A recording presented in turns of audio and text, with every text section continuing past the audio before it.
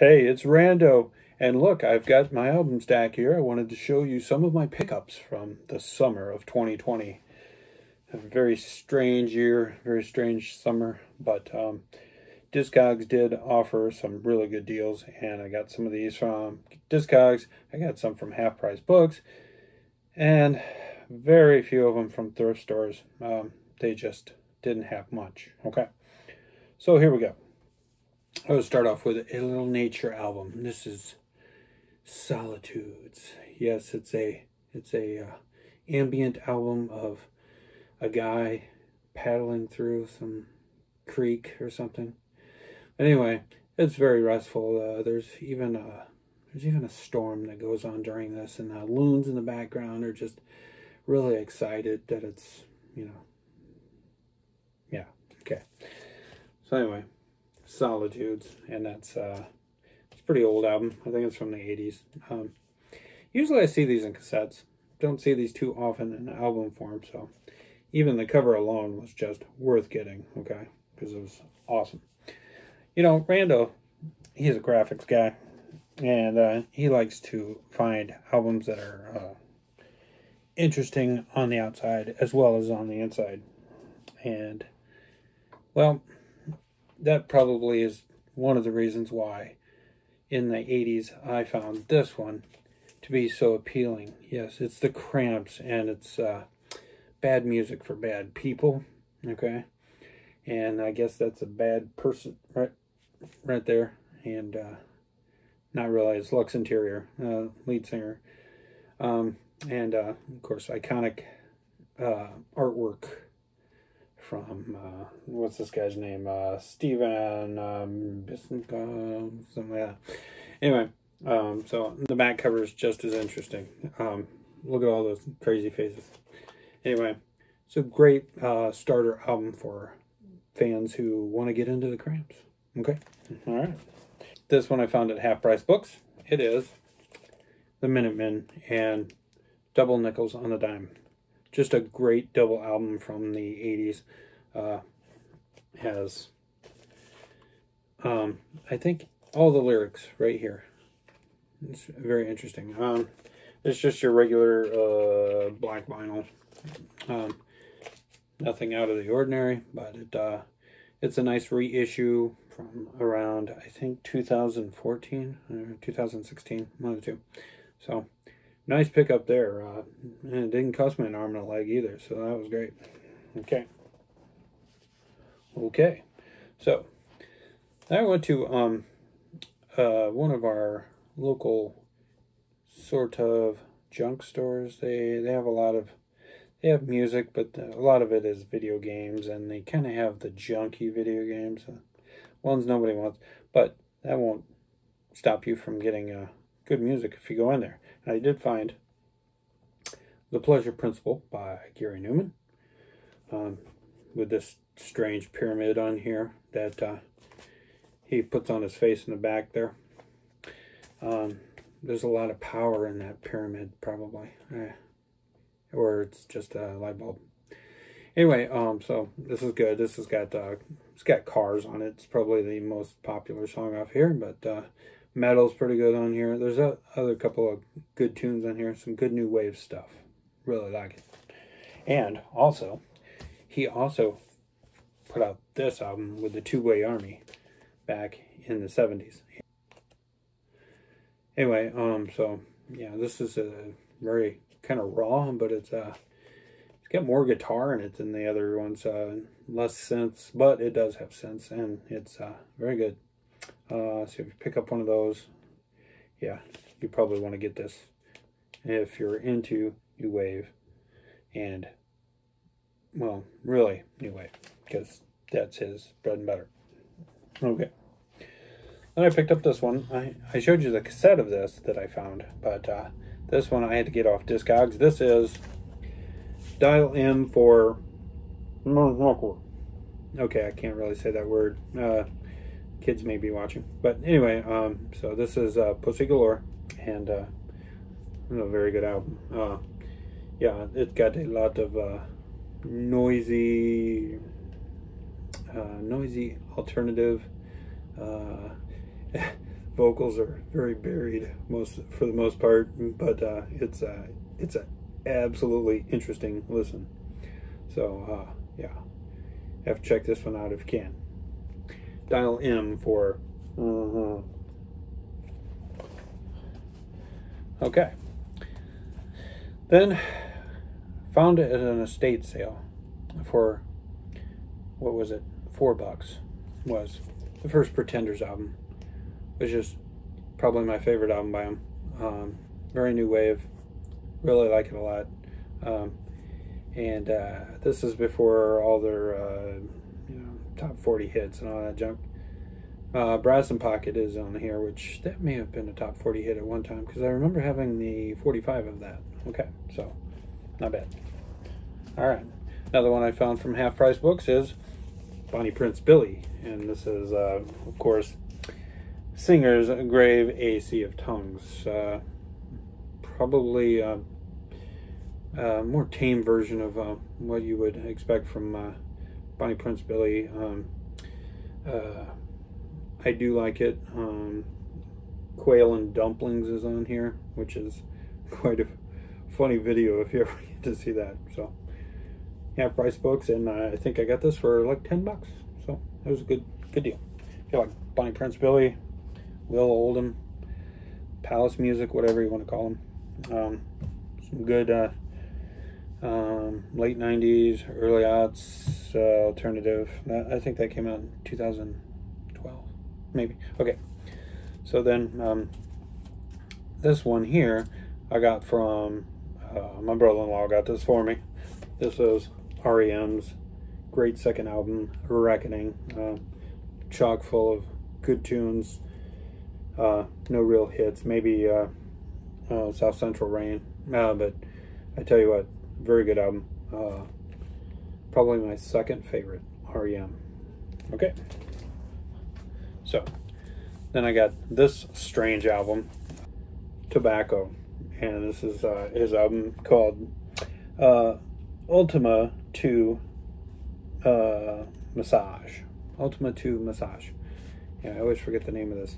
Um, but anyway, um, this is some crazy stuff. He used to be the lead singer of uh, Black Moth Super Rainbow, which uh, you've probably seen me talk about through cassettes before, but I gotta show you the color of this uh, the vinyl is really cool and here. It is a it is a translucent yellow kind of kind of see through it. Anyway so it's very cool. Um it's uh how would i describe it? Maybe um he sings mostly through a recorder so he obscures his voice that way. He doesn't try to make it auto tune or anything.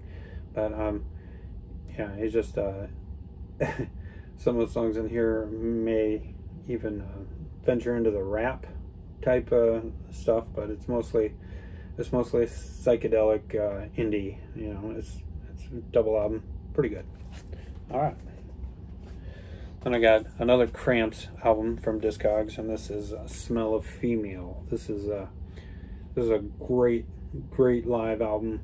Um, there's only six songs on here, but uh, there's six great songs, and there's six songs that they don't have on any other albums. So that's a very essential purchase there. So, smell of female. Call of the wig hat on here is awesome. okay, so has more cramps. All right, and then we got from Discogs, we got Celle C'est Chic. Okay, this is uh, um, 60s yee artist, uh, female artist from, and that's France Gall right there on the front cover, who has uh, a great song in here um, called uh, Last See Beautiful, okay, which is an excellent song. You've probably heard it before. You may not know it by the title, but uh, there's all kinds of uh, um, fine ladies from France doing yee, um, which is ya ya in English, I guess. But anyway, um, it's uh, on a blonde album too, which is really cool. I've never seen blonde before, but uh, there you go. Blonde vinyl. Um, it's recommended if uh, you're into 60s uh, female vocalists from France. Mm -hmm. Okay. All right. Then we got from uh, Half Price Books, I got uh, The Dum Dum Girls. And this is this is Only in Dreams. And uh, has uh, the excellent song in here, uh, Caught in One. And uh, also, um, great video off this album called Bedroom Eyes. Bedroom Eyes. Excellent, excellent video. You can barely see the cover, but it looks like somebody coming out of their own soul there. And uh, you can barely see the script on there. It's in silver. It's pretty cool. Um, uh, this is just black vinyl. Okay. Uh, this one I got from Barnes and Noble, of all places. It's uh, Vampire Weekend in Contra. And uh, this, uh, is cool. It comes with a poster. And the poster is exactly the same as the cover. And, uh, well, it's got horchata, California English. Uh, it's pretty good stuff. Uh, my favorite song in here probably is um, Cousins. It's uh, really good. So, uh, Vampire Weekend, their second album. Um, um, is it as good as their first album? Eh, it's close. Okay. More sophisticated songs, I guess. No, I don't know. They're from uh, the Ivy League schools, I guess. But uh, anyway, Vampire Weekend. And it's got a nice cover. She's very cute. Okay. One I couldn't believe I found from Half Price Books was this one The Decline of Western Civilization soundtrack.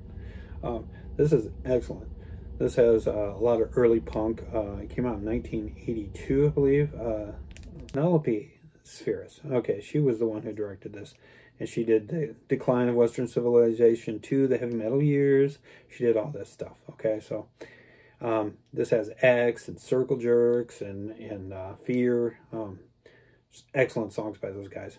So, uh, the decline of uh, Western civilization, and it's uh, it's a little bit of a beat up copy, that's for sure. But um, it plays through without skipping, so I'm good with that. All right, then I got into some uh, some IDM, uh, some I hate to call it IDM, but it's intelligent dance music, whatever. Um, but I just call it electronic. And this is Boards of Canada. This is a very creepy album by them. Uh, it's their second album, full length. And, uh, you know, it's just, it's pretty much a nightmare. A nightmare on wax. But, uh, it's very, very interesting listen. Um, you've never heard electronica like this. well, if, I'm sure you've may have heard of these guys, but yes, Boards of Canada, and this is Geogaddi. Okay, awesome. Three record album, and one side has a big etching on it, so that's interesting. All right, so then I got into some uh, some DJ electronica, and this is DJ Shadow, and this is uh, The Mountain Will Fall. Very good double album here too by uh, DJ Shadow, and uh, there's some hip hop on here. There's a uh, Run the Jewels actually plays on a couple of sings on a couple of tunes on this, but uh, for the most part, it is just an absolute fascinating listen. So, um, as you can see, I got that at the Barnes and Noble's 50 off sale. Look at that, yeah. So it was about I don't know, 11 bucks. Nice. It came with all these little things like stickers and, uh, and like stencils Pretty cool. Okay. Then I got this kind of a strange album by Jack White. It's a Boarding House Reach. Um, quite a departure from most of his stuff, but uh, nonetheless has some interesting, interesting music on it. Um, some things are just, uh, some things are just kind of a, a real abomination on here. I gotta tell you, tell you the truth it goes from uh, terribly bizarre to terribly great. So um, you just have to give it a listen, see if uh, this Jack White is up your alley.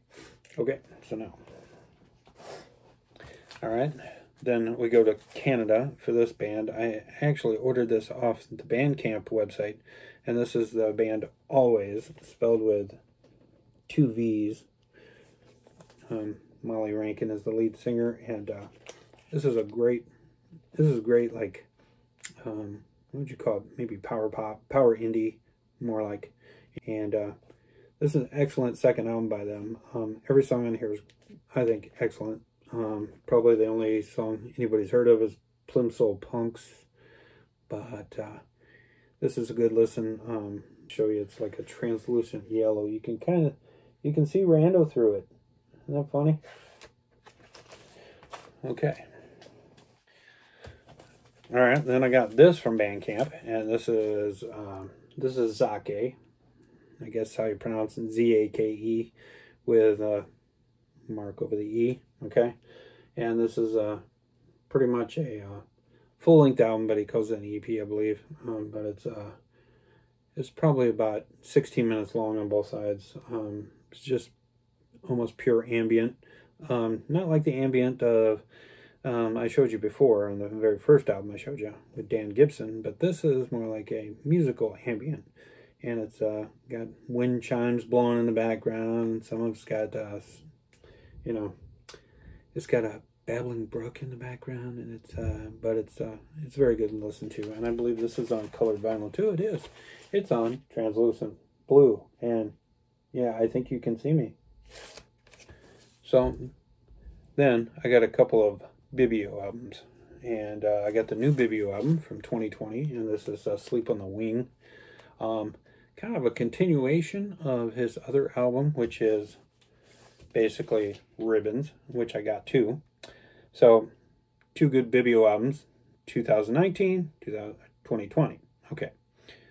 So, um, probably this is the better of the two, and uh, this has got some good songs on it, though, too. Um, very good for uh, released this year.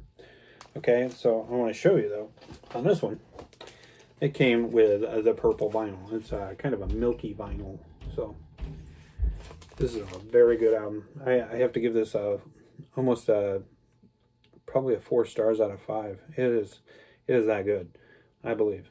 Okay, um, if you're into, uh, he sometimes uh, he's electronic, but it, sometimes goes into almost ambient or even folky sounding. And uh, he always sings like uh, his vocals always kind of distant sounding. Um, and so, if you want a pretty good album that's uh, kind of uh, acoustic, kind of it's got a it's got violin in it, it's got uh, electronic elements in it. It's uh, very good, Bibio, and ribbons. Now, I couldn't believe I found this one on the Zia website, the Zia Records website, um, out of Arizona and Nevada. But uh, Rando went to Las Vegas this year and uh, tried to go to Zia Records, but Zia Records was closed because somebody got COVID. Okay, so story of my 2020, right? Okay, so this is Bibio Silver Wilkinson. This is a very hard album to find right now. Um, you find any copies in the United States and they're they're upwards of 60 70 bucks for some reason it, that is if you find one okay and this is just on black vinyl and uh, this is actually their I believe sixth his sixth album um, yeah very hard to find right now unless you're in the UK if you're in the UK you could probably find a copy of this pretty good but uh, this is one of his his most excellent albums. Um, À tout à l'heure is on here, which is probably one of my favorite songs by him. So, Bibio, Silver Wilkinson. Okay. Then I picked this one up at uh, at uh, Barnes & Noble. And this is PJ Harvey and the dry reissue. Um, it's got a nice picture of PJ on there with, well, we won't talk about that picture. But anyway, um, it's great, uh, kind of grungy, um, uh, very personal. Um, anyway, really like the way she sings, and uh, she's really good with this band that she has on this album. Okay. Sometimes Barnes and Nobles has great stuff for sale for 50 off, as in the case of this. This is Slowdive and their self-titled album from 2016, I believe. And uh, it's an excellent comeback record. First one in like 20 years for them. So, it's an excellent buy. Oh, oh, It's an excellent uh, buy for 50 off. it made it about $9.99. So excellent. Indie release from Slowdive. still has a very good dream pops, shoegaze kind of feel to it, but it is a modern version of that, and uh, it's recommended by old Rando. Okay, so next, um, you go on Discogs sometimes, and uh, you'll find a really cheap version of an album that you know is kind of expensive, and, and you're going, well, why is that? So you read the description, and it says, well, this uh, has stickers all over the front of it. And you're like, okay, so you buy it and you get it, and it's a sticker that peels right off. And that's the case with this one. This is a very cheap copy of Building Nothing Out of Something. And this is Modest Mouse. And this is uh, one of their compilation albums that is really good. It's one of my favorite albums by them because it just has some singles on it. It has some outtakes on it, and it's uh, it's really good. Um, the Never Ending Math Equation is one of my favorite songs by them, and it's on here. Modest Mouse. This is another recommended rando pick. Okay. So, rando don't like much in the way of jazz, but there is one that I really grew to like in uh, in the days of uh, LimeWire and uploading music, you know, because you would discover stuff just by pressing a button or, or being able to download stuff for free.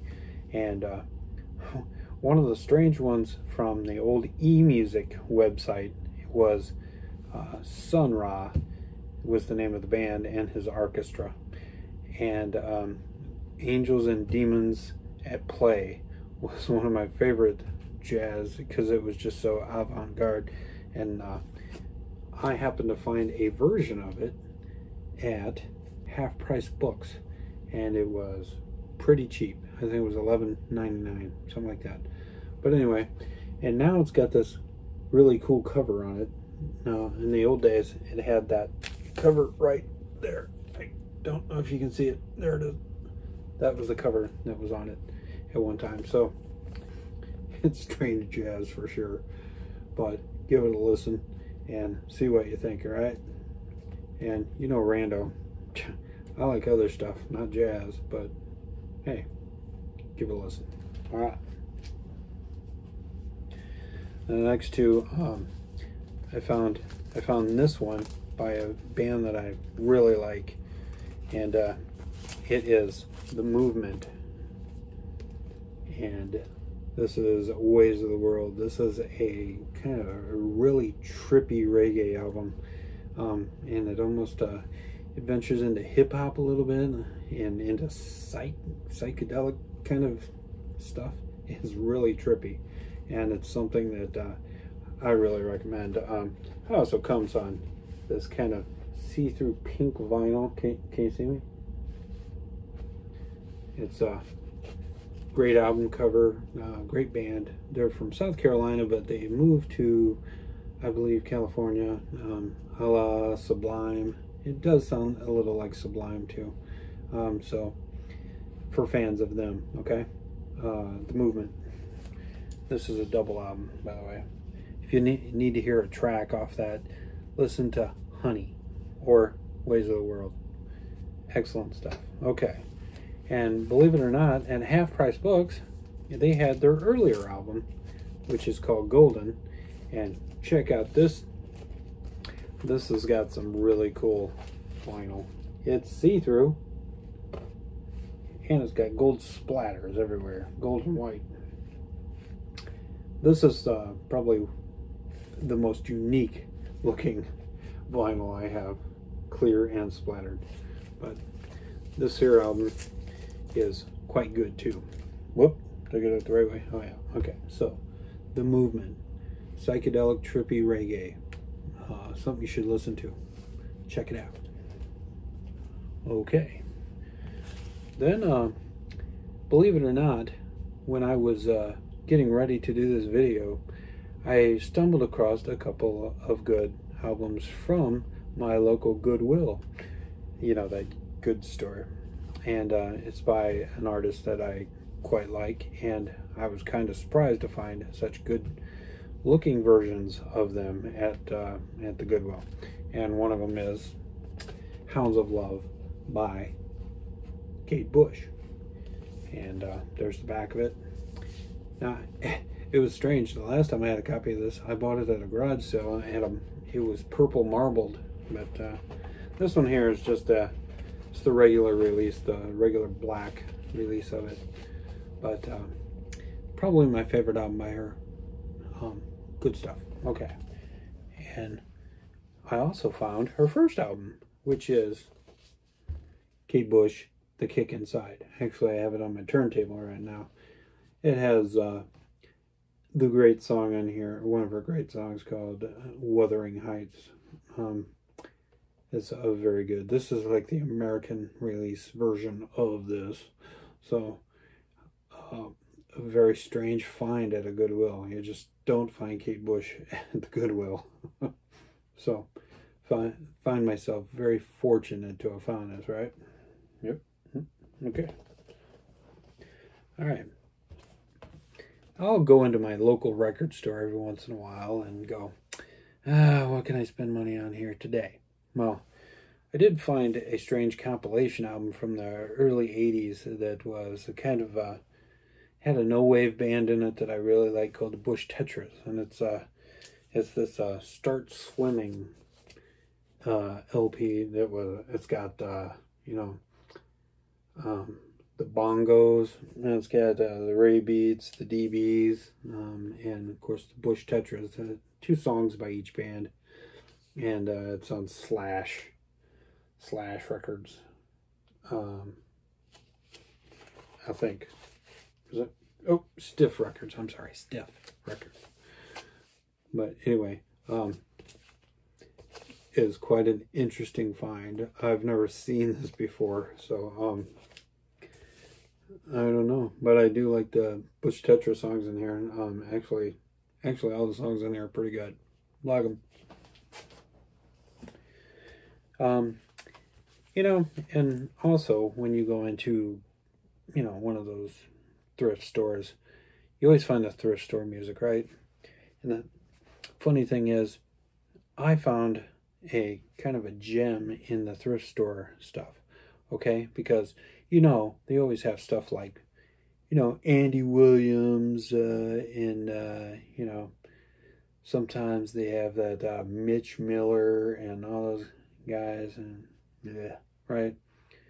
Well, you know what? I found this, and this is Claudine Longet, and uh, she was a French singer, and she was also married to Andy Williams at one time she was found not guilty for first degree murder of her boyfriend after her and Andy split up.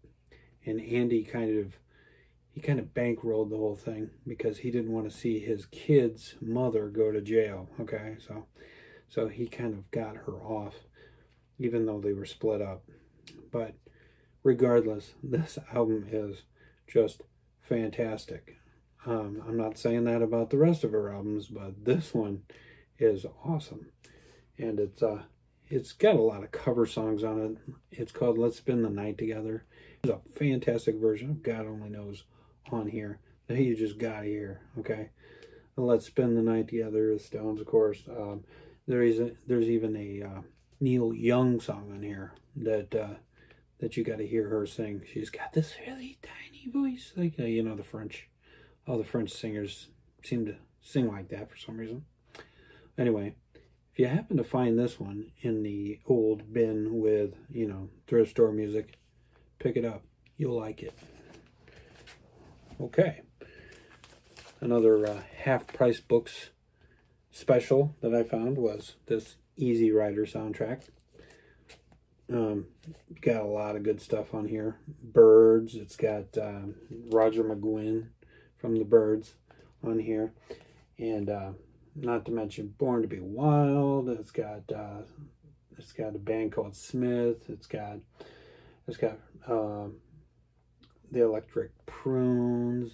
the Holy Modal Rounders, whoever they are. That's a funny song, by the way. Um, this is a pretty good album. You should get this. I'm not even into motorcycles or anything like that, but this is a pretty good album. You should check it out. All right. And speaking of the Byrds and Roger McGuinn, at a uh, at another one of those estate sales, I happened to come across this version of the Byrds album Easy Rider, the Ballad of Easy Rider, and uh, it's uh, it's not the greatest shape. The the jacket isn't, but uh, the album is in good shape, and it's a good listening copy. And it's as I mentioned before, my aunt and um, former uncle, he, he's they're both passed now, but um, she's on here um, with a writing credit. So I really like this album, and uh, it's a good album too. It's got Clarence White playing his his uh, weird guitar that has that bending string on it. That when he moves his guitar, it uh, kind of makes it twangy. Yeah, so listen to this Ballad of Easy Rider, The Byrds. Okay, I think that came out in 1969. All right, and then a strange album I found at another, well, it was a yard sale really, is this electronic music to blow your mind by. And I just had to show it because check out the, it looks like this guy is like John Lennon or somebody. And uh, he's got all this mind expansion going on. And you have to, you have to really look in here. I mean, it's like a, it's like a Where's Waldo puzzle with all the things that you can pick out of there. So this is uh, this is strange. This is a really strange one. Um, it's a little warped, unfortunately, but hey, I only paid like a quarter for it. So that's my finds for this year so far. And, uh, you know, I found some 45s too that I'll show you one of these days. So anyway, thanks for showing up for part two of my updated collection.